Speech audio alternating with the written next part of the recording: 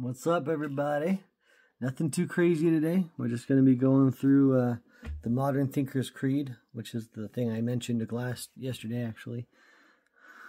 Um, but first, let's give you a little bit of War of Ages going on. They're one of the best bands I know. They're pretty wonderful. I'll have to keep talking over them just a little bit to make sure the copyright doesn't uh, strike me, but they're a really good band. This is them live, obviously, but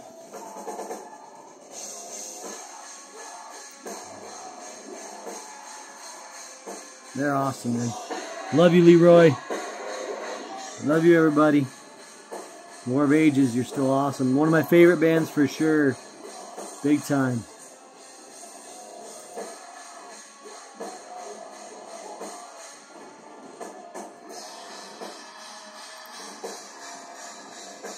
Anyway, you guys, hope you have a blessed day this morning.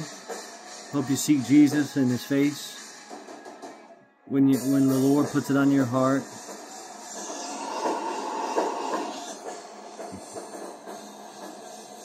Good times. and then there's a dang solo too. You gotta listen to that. Amazing. Seriously, one of my favorite bands ever. Hopefully, this is enough to take it and change it, but. It's a fair use act, I hope. I love them, man. Caleb, rest in peace. Sorry, brother. I'll see you in heaven.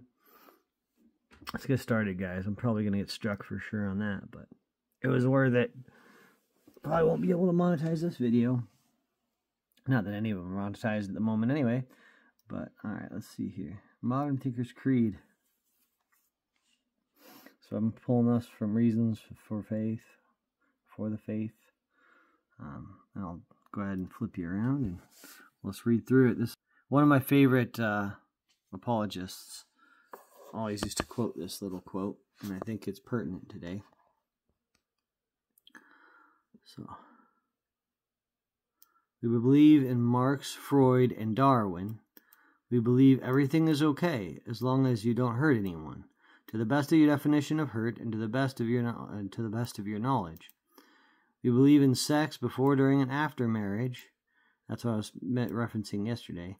We believe in the therapy of we believe in the therapy of sin. We believe adultery is fun. We believe that sodomy is okay. We believe that taboos are taboo. We believe that everything's getting better despite evidence to the contrary. The evidence must be investigated, and you can prove anything with evidence. We believe there's something to horoscopes and UFOs and bent spoons. Jesus was a good man just like Buddha, Muhammad, and ourselves. This is so brutal. He was a good moral teacher, although we think his morals were bad. We believe all that all religions are basically the same, and at least the ones that we read were, or was. the one that we read was. They all believe in love and goodness, which is not true. They all only differ on matters of creation, sin, heaven, hell, God, and salvation. We believe that after death comes the nothing, because when you ask the dead what happens, they say nothing. If death is not the end, if the dead uh, have lied, then it's compulsory heaven for everybody, excepting perhaps Hitler, Stalin, and Genghis Khan. We believe in Masters and Johnson. What's selective is, selected is average. What average is normal. What's normal is good. We believe in the total disarmament. We believe in total disarmament, excuse me. We believe that there are direct links between warfare and bloodshed. Americans should beat their guns into tractors and the Russians would be sure to follow. We believe that man is essentially good, it's only his behavior that lets him down. Sorry, guys, about the glare. I should have tilted you down.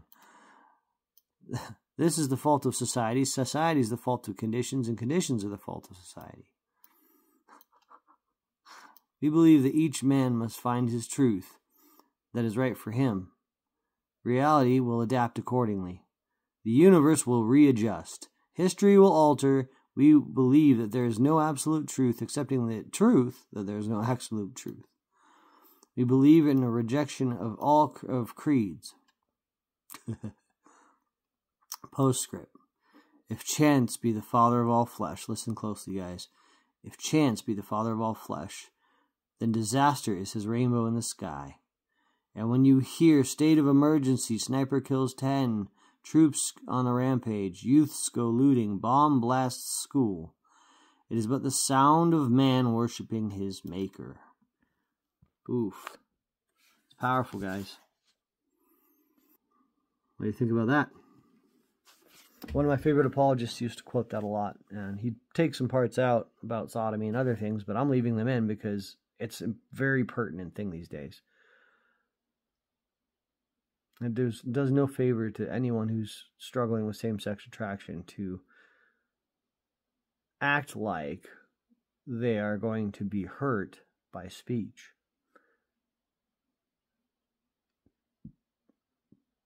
It takes a very frail and un- unstable person to be hurt by speech. And I pray for them in Jesus' name. If you, that's you, it doesn't have to be that you struggle with same sex attraction. It could be adultery. It could be um, promiscuity, promiscuity, which is another big one we don't pay attention to these days, like how we dress and who could be tempted and plenty of other things. Not saying it's a man's that's a woman's fault either that anything bad happens to her. You know what I think about rape? I think you take the rapist out. That's what I think. That's what I think. And then we'll talk, readjust, and talk about the abortion issue. But until then, um, I don't think it's a good faith argument. So, anyway, guys, that was man. Go back and read that a couple more times. Um, just blows my mind. It's so true, and there's so many circular reasonings and, and self contradictory things in there, as well as naivete uh, that you see on the left and, and on the right, too, sometimes. Um, as far as the moral fabric of our nation, the right is, is ignorant. A lot of times they're like, ah, it can just be politics. It's like, no, you need Jesus. And the same thing on the left, you know, they think that we should go beat our guns into tractors and the Russians will be sure to follow. like, anyway, guys, hope you have a blessed day. Peacemaker out.